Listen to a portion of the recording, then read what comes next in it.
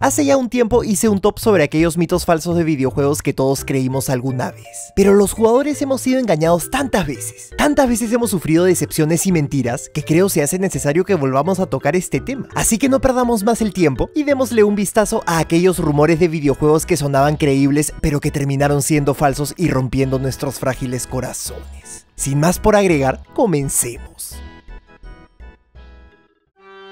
Puesto 6 como ya ha quedado demostrado una y mil veces a lo largo de los años, existen desarrolladores a los que les encanta trolearnos, y un buen ejemplo de esto es el genio detrás de la saga Souls, Hidetaka Miyazaki. Al comienzo del primer Dark Souls se nos daba chance de elegir un regalo. Había una poción para recuperar nuestra vida si las cosas se ponían feas, unas bombas que servían muy bien para derrotar al demonio del asilo, un par de binoculares para ver a lo lejos o una llave maestra que nos permitía entrar antes de tiempo a ciertas zonas. Pero no cabe duda de que el objeto más misterioso de todos era el pendiente. La descripción del ítem rezaba lo siguiente. Este es un colgante simple sin ningún efecto. Sin embargo, los recuerdos agradables son importantes para sobrevivir en viajes difíciles. Poco antes del estreno del juego, Miyazaki le recomendó a los jugadores que eligieran el pendiente como regalo inicial, pero se olvidó de mencionar qué demonios hacía. Como ya te imaginarás, las teorías, mitos y leyendas en torno a la joya no se hicieron esperar. Algunos creían que servía para escuchar diálogos opcionales. Otros especulaban que había que soltarlo frente a algún jefe para desbloquear sus poderes ocultos, y hasta había un rumor que decía era la clave para descubrir una nueva y peligrosa zona.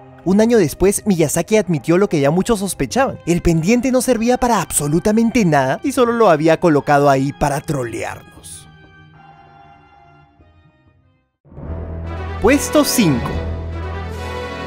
Zelda Ocarina of Time es un juego tan enorme, con un mundo tan lleno de posibilidades, de lugares por explorar y secretos por descubrir, que era imposible que no se crearan todo tipo de rumores en torno a él. En realidad hay tantos que fácilmente podríamos llenar el video solo con leyendas urbanas de esta aventura. Tal vez el mito más grande en torno a Ocarina of Time era ese que afirmaba que podíamos conseguir la Trifuerza tal como ocurría en Adventure of Link o en la entrega para la Super Nintendo, algo que por supuesto era falso. Esta leyenda nació mucho antes del estreno del juego, cuando Nintendo publicó un pequeño tráiler donde se mostraba al héroe luchando contra algunos estalfos, parado sobre lo que parecía ser una de las torres en el castillo de Hyrule y abriendo un tesoro donde aguardaba la mítica Trifuerza. Cuando el título llegó por fin a nuestras ansiosas manos, descubrimos decepcionados que la Trifuerza no estaba dentro de ningún cofre. Solo la podíamos ver como parte de la historia en ciertas escenas, pero nada más. Fue durante ese tiempo que comenzaron a aparecer personas que decían haberla encontrado, siendo el caso más famoso el de una supuesta chica llamada Ariana Alman II. El 4 de febrero de 1999, Ariana envió un correo a Hyrule The Legend of Zelda, la página web más grande de la saga por aquellas épocas. La muchacha dijo que tenía el método exacto para conseguir la Trifuerza, pero que solo daría unas cuantas pistas ya que quería ser famosa y evitar que le roben el crédito. Y aunque esto sonaba muy sospechoso, ganó credibilidad luego de adjuntar una imagen del pequeño Link parado frente al objeto legendario. Según la chica, teníamos que aprender del búho una nueva canción y tocarla para entrar al Templo de la Luz, un lugar del que nadie había escuchado hasta ese momento y que supuestamente ocultaba a la Trifuerza. Las imágenes se veían reales y muchas parecían haber sido tomadas directo de la televisión, lo que hizo que muchos fanáticos le creyeran y se pusieran manos a la obra para intentar recobrar la reliquia sagrada. Lamentablemente para ellos y para todos los que queríamos que esto fuese verdad, pronto se descubrieron errores en las fotos de Ariana que levantaron muchas dudas. Un buen ejemplo era que Link tenía colgada la espada en el lado equivocado. Finalmente la chica salió a decir que todo había sido inventado, rompiendo así el corazón de miles y miles de fanáticos que habían puesto su fe en ella. También se decía que había forma de ganarle al maratonista si es que éramos lo suficientemente rápidos, pero lo cierto es que ni con la ayuda de hacks para llegar a la meta en 0 segundos se le puede derrotar. Otro rumor afirmaba que había un método para liberar a los horas en el futuro si es que regresábamos al gran árbol Deku de adultos y conseguíamos un martillo para romper el hielo. Pero esto, una vez más, resultó ser falso. También había mitos de un calabozo secreto con forma de pirámide en lo más profundo del desierto. Se decía que podíamos encontrar a un enemigo muy extraño apodado el puerco durante la carrera con Dampe en el cementerio, y hasta se hablaba de un código para hacer que Malon, Talon e Ingo quedaran completamente desnudos. Pero todas estas cosas solo existían en la mente de algunos jugadores muy creativos y troleros. Otros títulos de la saga como Twilight Princess, Skyward Sword o Majora's Mask también son hogar de muchísimas leyendas interesantes, pero creo que eso mejor lo dejamos para una posible parte 3.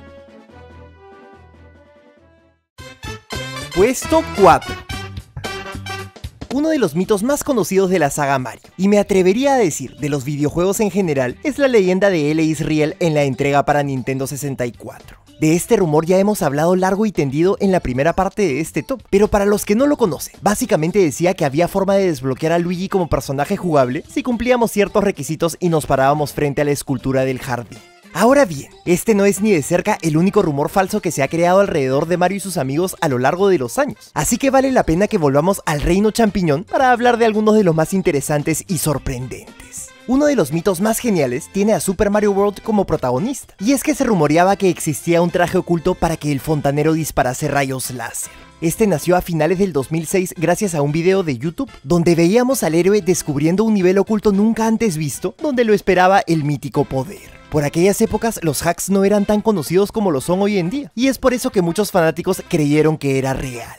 Otro rumor que cobró mucha fuerza por aquellas épocas fue el de una supuesta versión de Mario Galaxy que saldría para la Nintendo DS y que también se originó producto de un video. Este mostraba a la galáctica aventura corriendo de lo más bien en la portátil y prometía adaptar los controles táctiles y agregar un modo cooperativo, pero solo fue un engaño muy bien hecho. Super Mario Sunshine dio vida a más de una leyenda urbana interesante. Se hablaba de un supuesto Yoshi de color verde que habitaba en la isla Delfino, o de los mil y un usos que debía de tener el libro de la bahía Noki, pero no cabe duda de que la más curiosa de todas tenía a Luigi como protagonista. Supuestamente, si conseguíamos todos y cada uno de los 120 Shines, Waluigi aparecería en medio de la plaza junto a una jaula donde tenía atrapado al hermano de Mario. Y si conseguíamos derrotarlo, este se volvería jugable. Por algún motivo que no logro comprender, muchos creyeron en este rumor. El remake de Mario 64 para la DS trajo a Yoshi, a Luigi y a Wario como personajes jugables. Y como ya te podrás imaginar, los rumores en torno a Waluigi no se hicieron esperar.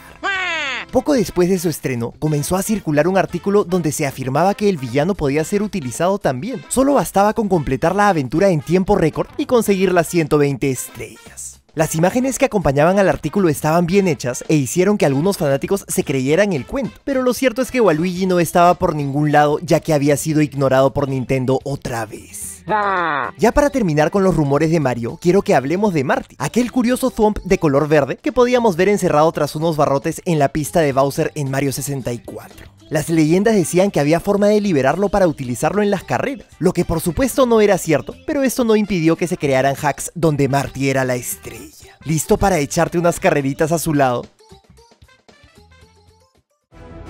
Puesto 3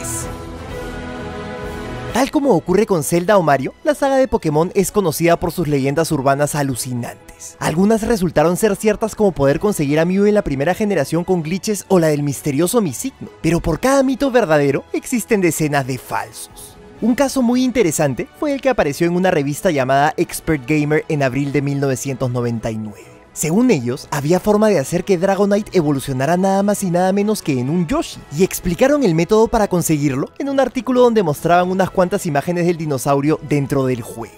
El primer paso era haber completado la aventura con los 150 Pokémon, ya sea en rojo o azul, y tener algún amigo que hubiese hecho lo mismo en la otra versión. Acto seguido, el jugador de rojo tenía que enviarle un Dratini al de azul y este debía de evolucionarlo y devolverse. Y ya con el Dragonite en su poder, el dueño de la versión roja viajaría al calabozo desconocido para surfear hasta la pequeña isla de Mewtwo. Justo en ese lugar debía de utilizar una piedra de fuego en el dragón, lo que supuestamente haría que evolucionase en el fiel compañero de Mario. Como de seguro ya sabes, esto resultó ser una cruel broma por el Día de los Inocentes que los chicos de Expert Gamer quisieron jugarle a su comunidad. Un rumor similar, aunque bastante menos creíble, decía que Licky Tank evolucionaría en Luigi si es que poníamos de cabeza nuestra Game Boy y lo alimentábamos con un caramelo raro, siendo la prueba una diminuta y pixeleada imagen donde veíamos al fontanero en el menú de Pokémon. No sé ustedes, pero yo daría lo que fuera por vivir una aventura Pokémon al lado de Luigi.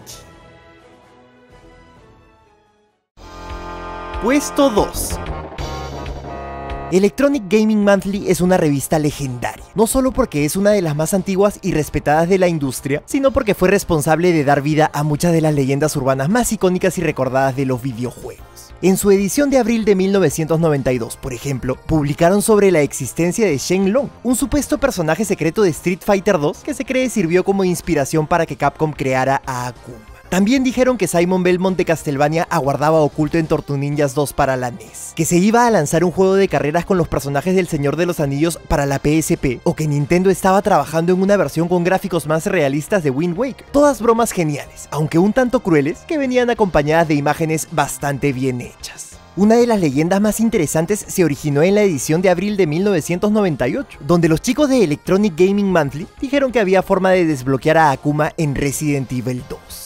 El supuesto método consistía en completar el juego 12 veces con Ranka, utilizando únicamente la pistola y el cuchillo, e ingresar la palabra Akuma en la computadora de William Birkin, lo que haría que el luchador se escapase de un tanque para calcinar a los zombies usando sus Hadoukens rojos. Otro mito interesante nació poco después del estreno del título, cuando un avispado jugador encontró una reja oculta justo afuera de la estación de policía que solo se podía ver si es que engañábamos a la cámara. Muchos creían que había forma de cruzarla, y los más soñadores especulaban que del otro lado encontraríamos a Rebecca Chambers y la podríamos utilizar como personaje jugable. Lamentablemente, nadie consiguió cruzar la reja, y el sueño de controlar a Rebecca quedó como una lejana fantasía. Puesto 1 La saga de Diablo ha generado mil y un rumores a lo largo de los años. En la primera entrega, por ejemplo, se hablaba de un supuesto nivel secreto lleno de vacas que aguardaba a los guerreros más valientes, y aunque este no existía, la secuela hizo honor al mito incluyendo una fase justo como esa. Otra leyenda muy conocida nació en el chat de Battle.net de Diablo 2, un lugar de reunión donde podíamos conocer a otros aventureros como nosotros. Aquel chat era hogar de algo muy curioso, una pequeña y misteriosa gema de color azul que descansaba justo encima de los personajes. La comunidad no tardó en descubrir que se podía prender y apagar si se le daba clic, y en algunos casos raros podía aparecer un mensaje que decía que la joya se había activado de forma perfecta. Esta piedra hizo volar la imaginación de los fanáticos y generó un sinnúmero de teorías en torno a ella. Algunos decían que si conseguíamos activarla de forma perfecta, antes de arrancar la partida, habría más chance de conseguir mejores armaduras, objetos y armas. Otros afirmaban que no era más que un filtro para las malas palabras en el chat, y también estaban los que creían que iba a servir para intercambiar ítems en parches futuros, pero lo cierto es que nadie tenía la respuesta. Los fanáticos no aguantaron la curiosidad y le preguntaron a Blizzard el propósito de la gema, pero lo único que respondió la desarrolladora fue que estaba funcionando correctamente y que había superado todas sus expectativas. Finalmente, y luego de más de un año de especulación, Blizzard volvió a tocar el tema diciendo que ya no podían guardar más el secreto. Resulta que el único objetivo de la joya era cambiar de color y mandar mensajes sin sentido. Una vez más, la comunidad había sido troleada.